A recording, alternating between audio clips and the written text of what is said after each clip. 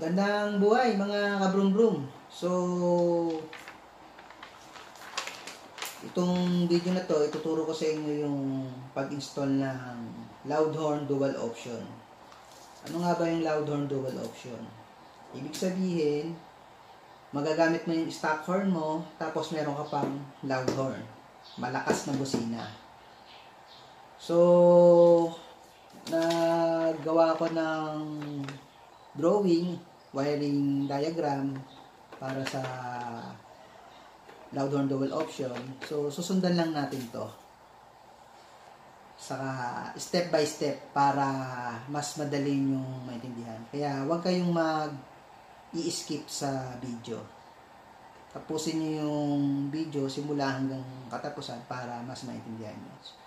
So, simulan na natin. So, kung makikita nyo, ito yung battery. So, sa battery ng motor, alam niyo naman kung, kung kayo may motor, alam niyo naman kung saan nakapwesto yung battery niyo. So, ang kailangan natin is fuse. Yun nga, uh, fuse. So, ito yung linya, ito yun. Pero wag mo na, hindi mo na natin tatap. Sundan nyo lang ako. So, kuha tayo ng wire. So, ito yung fuse box fuse box. And then sabi ko sa inyo, yung fuse box, kailangan natin ng 10 amperes. Ayan. 10 amperes na fuse. Ayan. 10. So, lagay nyo lang yan dito. Ayan. Make sure na talagang naka-plug in siya. And then may takip yan. Yan. So, meron na tayong fuse. So, sa dulo ng fuse, sa kabilang dulo ng fuse, fuse box, maglalagay tayo ng terminal lugs. Yung bilog. So, kuha tayo ng bilog. So, ito yon Ito yon Yan.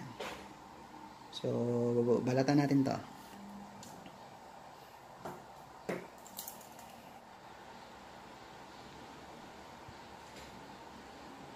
So, ayan, meron na tayong ano, terminal lugs. Para to sa positive ng battery. So, mamaya muna natin tap to. So, meron na tayo. So, kailangan naman natin ng relay. So, yung sa relay, sa kasakit. So, ayun yung relay. Explain ko sa inyo. So, meron na akong ginawang video tutorial para sa switch saka sa relay kung paano nga ba yung mga function nito. So, search nyo lang dun sa video ko. Meron ako nun. Para malaman nyo yung tamang pag-install ng relay saka ng mga switches. So, ayun. Meron tayong sa 4-pin relay, meron tayong 30, 86, 85, saka 87. Kung nakita nyo X7A niya, wala na yan. So, 4 pin lang kasi yan eh. So, sa socket, hindi naman yan kayo maliligaw eh. Talagang kahit hindi kahit pagbalibalik rin yung ganyan, hindi tatama yan. Basta kung hindi akma. So, ayan o, oh, makita nyo. Pababa, pababa, pababa. Pa-slot. So, ayan, iganon nyo. Yan, kabit nyo. Yan na. So, kung matatandaan nyo, ito yung 86, yung color, color white. And then, 85 yung green wire. Yung number 30, ito yung color yellow. Tapos, color black, ito yung 87. Itong nasa gitna, wala na to. Pang 5 pin relay kasi to eh. So, skip na natin pa, para hindi na tayo ano. Dito, ayan. So, yun. Ang gagamitin lang natin na apat na wire. So, ang unang-unang gagawin nyo, yung fuse, yung fuse na ginawa ko, eto, ayan. Yan yung fuse. So, ikabit nyo yan sa number 30. Ayan, kung makikita nyo, ayun o. Oh. Ayun yung fuse. Tapos, ayun yung number 30. Ayan yung wire niya. Pagdugsongin nyo lang, ito yon So, number 30 na wire, color, color yellow. Tap nyo sa fuse. So, yun. Splice muna natin. Yan. Then, saka natin i- tapan.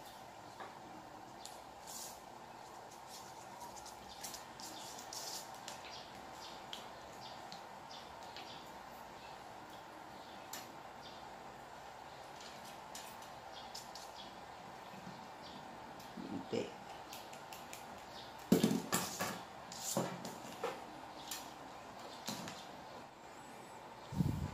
Tapos, gawa tayo ng wire. So, Huwag muna tayo ng wire mga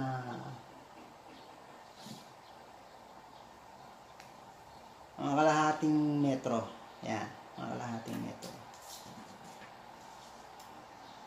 Dalawa. Kailangan natin dalawa.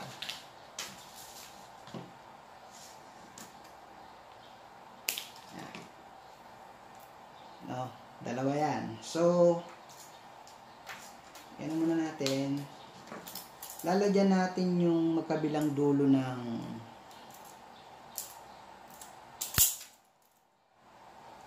terminal lugs.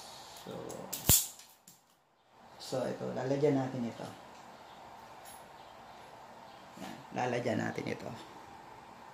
Yung female terminal lugs sa magkabilaan. Bali, apat yan. So, rin natin. So, ayan. May nagawa na akong dalawa na pareha sa kabila. Ayan, pareha sa kabila. So, lalagyan natin to ng electrical tape para meron siyang insulation.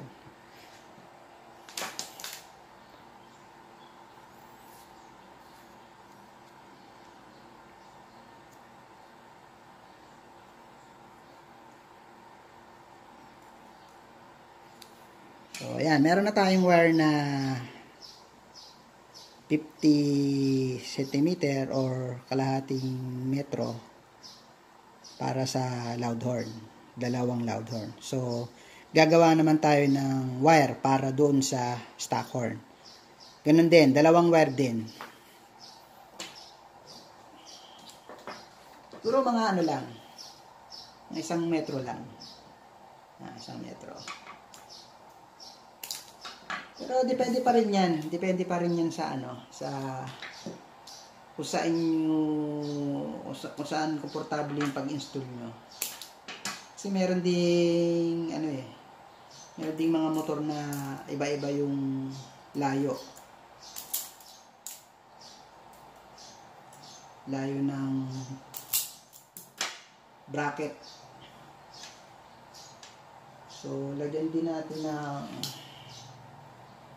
female terminal lugs. So, yan. So, check ulit natin. So, meron tayong wire na dalawang mahaba para sa loud horn and then dalawang wire na para sa stock horn na parehas may terminal lugs. Ito naman sa kabila. Okay. Okay, labas na natin yung loud horn natin.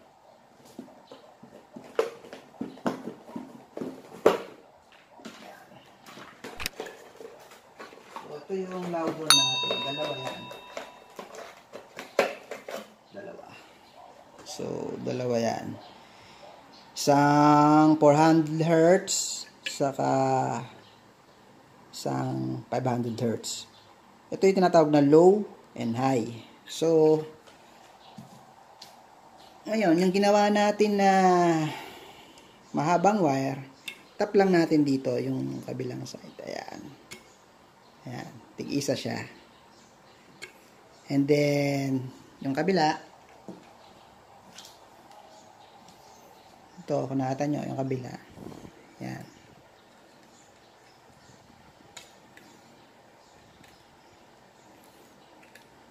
Yan. So, ito yun. Titingnan nyo, ito yung ating diagram.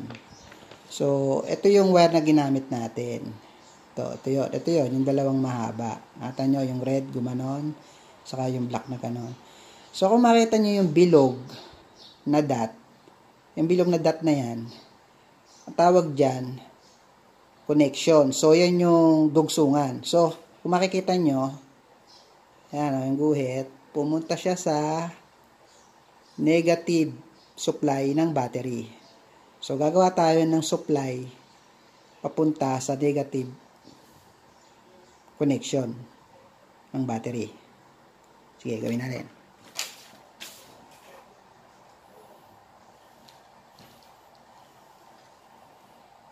So,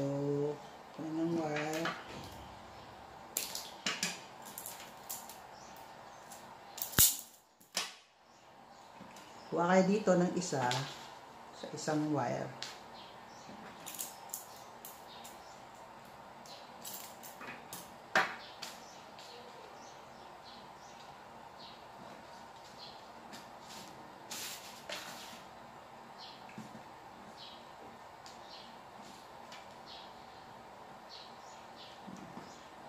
Tipan natin.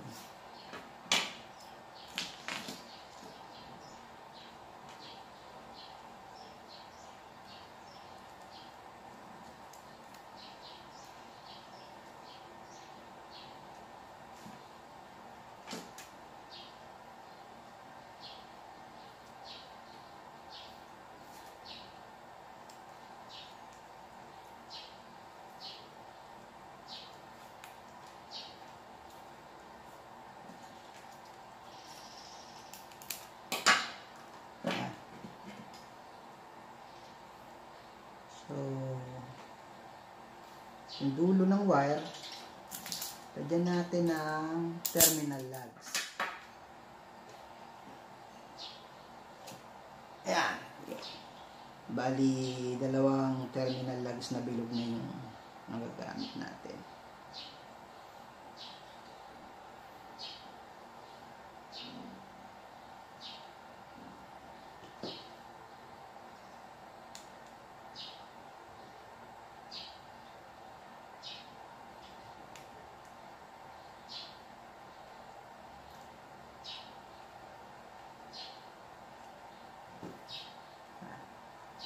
So, ilagay na natin to. Ito, sa negative connection ng battery.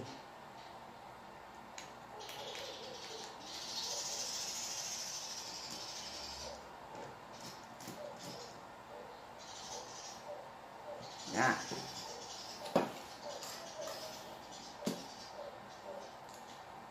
Yung positive ba, meron natin lagay para mas safe tayo. So, dito naman tayo sa ano, sa So, kailangan natin gumamit ng hollow switch. So, tinuro ko na sa inyo yung function ng hollow switch. So, basic. Pero ituro ko pa rin sa inyo yung basic na installation nito. Yung tamang pag-installation nito na mga gamit nyo yung lahat ng function nitong mga wire na to. Dito sa loud horn dual option. So, dito tayo magbase sa wiring diagram. So, ngayon, yung C, yung C, yan yung common. Yan yung galing sa power supply. And then, yung normally open, yan yung uh, kapag hindi nyo pa inon, pag hindi nyo pa inon yung button ng hollow switch, hindi yan magpo-contact. Pero pag pinindot nyo na, yan na yung, yan na yung ano, papunta dun sa sa supply. And then yung normally close, yan yung kapag naka-off pa yung button, naka-contact na agad dyan. Naka-contact na agad. And then yung negative, saka yung positive, yan yung para sa ilaw ng hollow switch. Okay, so ang gagawin natin ganito. Kung makikita nyo, ito yung terminal ng horn relay. Ito yung terminal ng horn relay. So, ayun. Sample lang yun. Yan yung stock horn relay. So, sundan nyo ako. So, ito, yung stock horn. So, try natin. Magbusin na ako. Yan, busin na ako. So, ang gagawin natin, tatanggalin na natin yan. Yan. Tanggalin natin. Yan.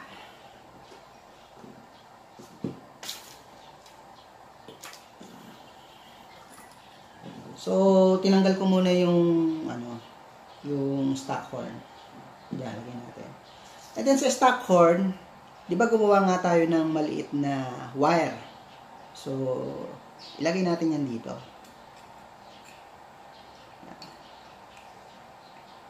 Dalawang wire yan na may terminal lag. So, pagdating sa dulo, dalawa siya. So, ma maalin dyan. Pwedeng positive, negative, negative, positive. O, yun. So, yan. Ngayon, eto na, dito na tayo sa sa ano sa hollow switch. Tandaan niya, huwag kayong nag skip So, sa hollow switch, hanapin niyo yung NC. NC na sign. So, ayan, yung NC na sign. Yung NC na sign na yan, yung wire niya, itap nyo doon sa may positive ng stock horn. Ito. Basta kuha lang muna kayo dyan isa. So, so pag pumuna tayo ng isa dyan, ng wire sa stock horn, yun ay magiging positive natin. So, tatap natin siya sa normally close ng hollow switch. Tap natin.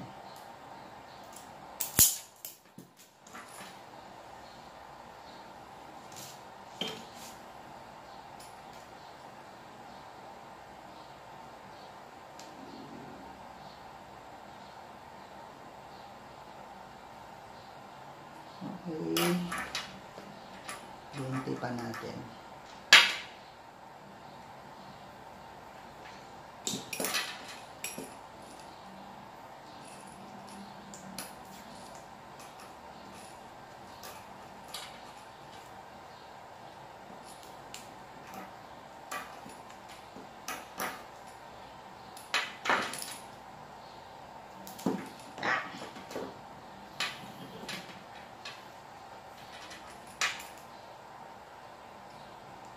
Then nakita nyo tong color black. Color black ng hollow switch. Saka itong stock horn. Yung wire ng stock horn na natira na isa. Ito na yung magiging negative ng stock horn. So, pagsasamahin natin yan. Ayan. Sasamahin natin yan.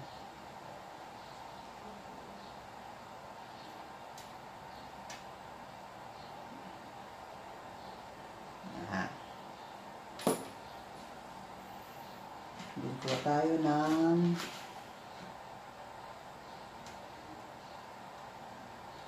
wire.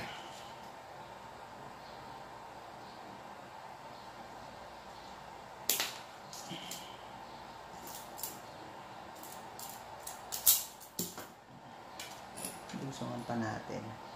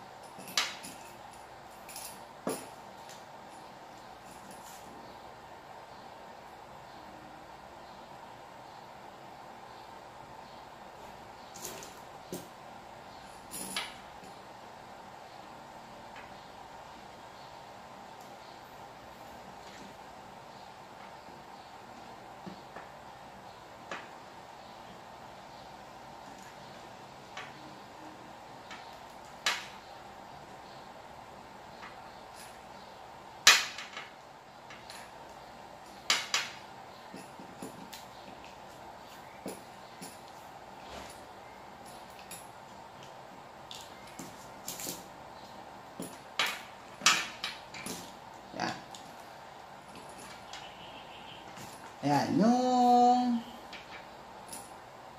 yung color black, yung negative sign ng hollow switch, tap nyo dun sa pa, uh, negative ng stock horn na wire.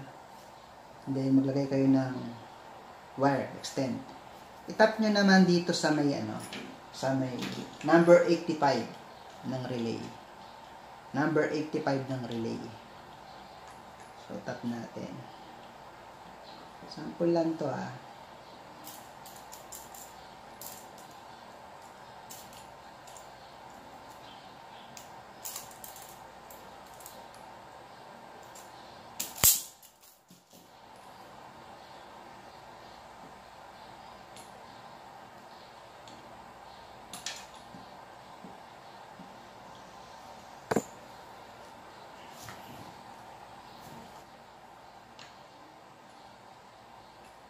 Tipan natin.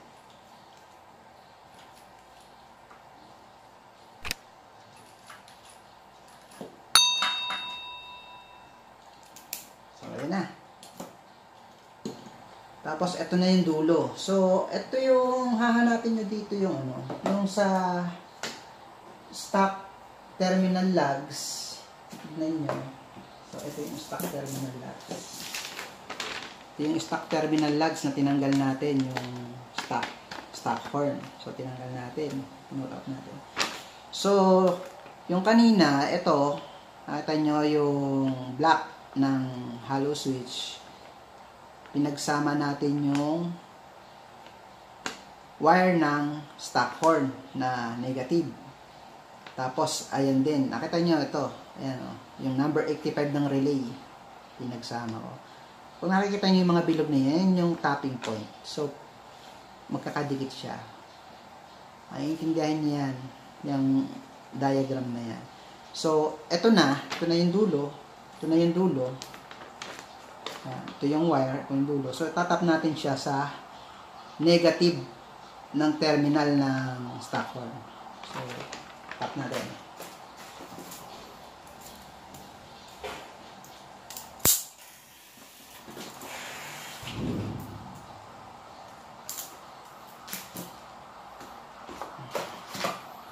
Pwede kayong ano, pwede kayong itap niyo yung wire na ganyan and then uh, balu, ano, balutan niyo na lang or pwede kayong mag-cut dito splice nyo and then tap nyo na lang po ganyan.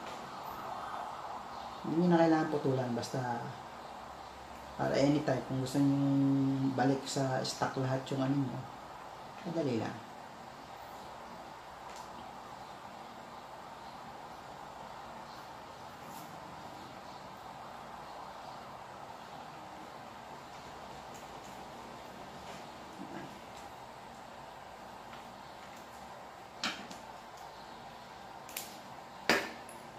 Nakatap na tayo sa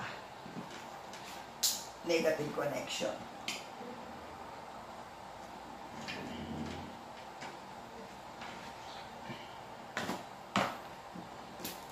So, okay na tayo dito guys sa negative connection ng stock horn saka sa relay, yung number 85. So, doon naman tayo sa number 86 ng relay. So, yung number 86 ng relay, ayan, makakita nyo. Ito yung number 86 ng relay. Color white. So, ang gagawin natin dyan, tatap natin yan sa hollow switch. Sa hollow switch, yung normally open, saka yung positive sign, pagsasamahin nyo yan. Parang ganito. Ayan. Ayan, pagsasamahin nyo siya. And then, yung dulo, yung dulo, ilalagay nyo dito sa number 86. So, tap natin siya sa number 86.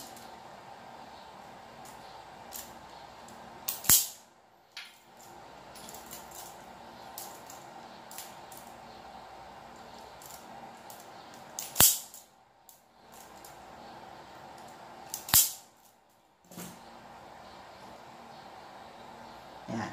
Number 86 ng relay, itap niya sa normally open ng hollow switch. Nakasama yung positive sign.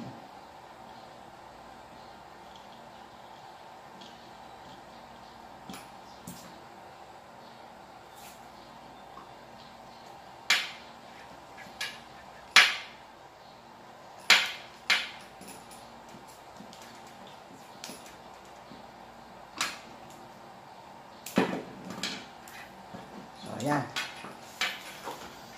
So, ang natitira na lang sa hollow switch, so nakabit na natin yan, ang natitira na lang ay yung letter C, yung common.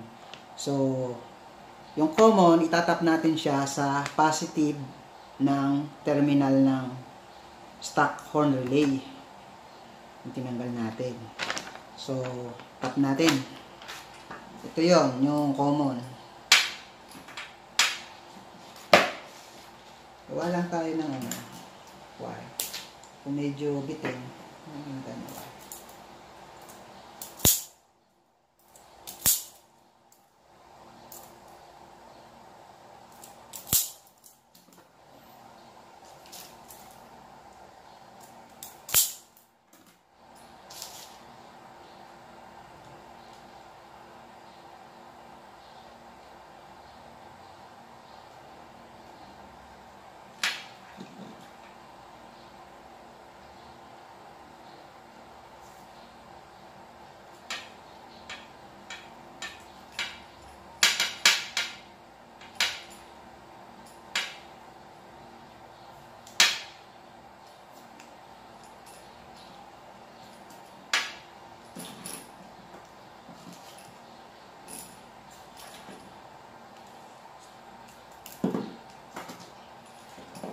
Yan.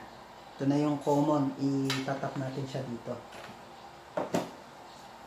Sa terminal ng dating stock horn.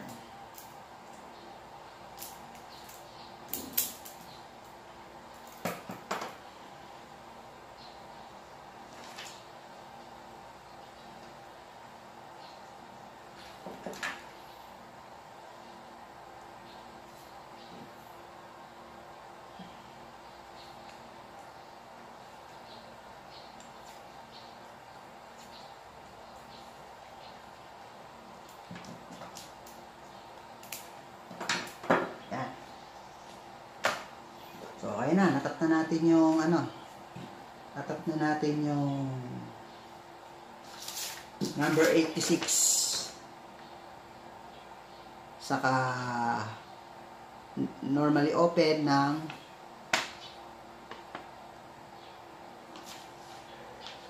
Okay, ah bali natap na natin yung wire ng common sa stock Stock horn terminal lugs. Okay, bali natap na natin yung ano, yung common sa positive terminal lugs ng stock horn. So ayan na. And then ang last, makita nyo, yung number 87 ng relay. Yung number 87 ng relay, itatap nyo yan dito sa natitirang wire dito sa positive. Kanina meron na tayong negative. Ito yun, no? papuntang negative ng battery. So, ito yung positive. Positive to para dito sa dalawang horn na to. So, tatap natin yan dito sa number 87. Okay. Natin.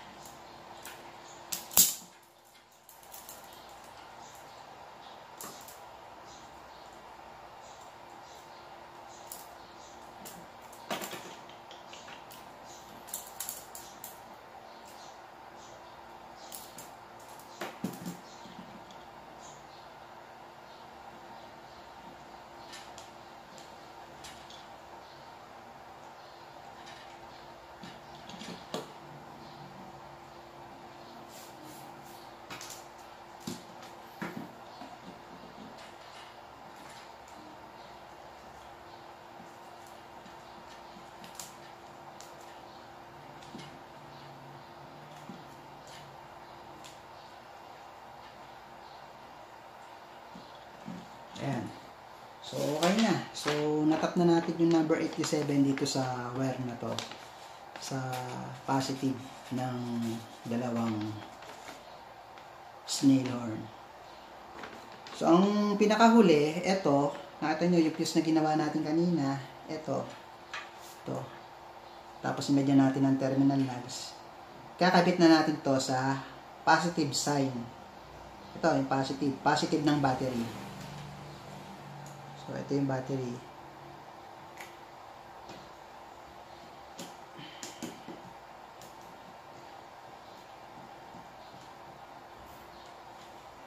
So, ayan guys. So, naikabit ko na. Kabit ko na mga kabrum-brum. So, ito yung dalawang terminal lugs. Yung dalawang terminal lugs na to, ito na yung, ito yung dating stock horn na terminal. So, ito yung stock horn natin. Ito yung loud horn. Relay, hollow switch, saka battery. So, sana nasundan nyo yung diagram ko. And then, pwede nyo namang ulit-ulitin yan. And then, i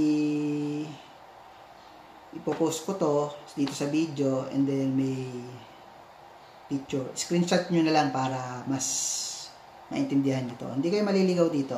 So, ito, try na natin. So, ayan. Halimbawa, ah, uh, ito yung halimbawa yung ano, yung talagang original na pindutan ng busina natin.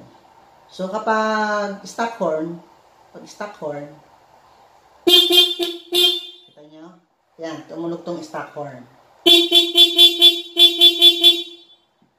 Ngayon, ito yung yung ano, yung switch niya para sa loud horn. Yan.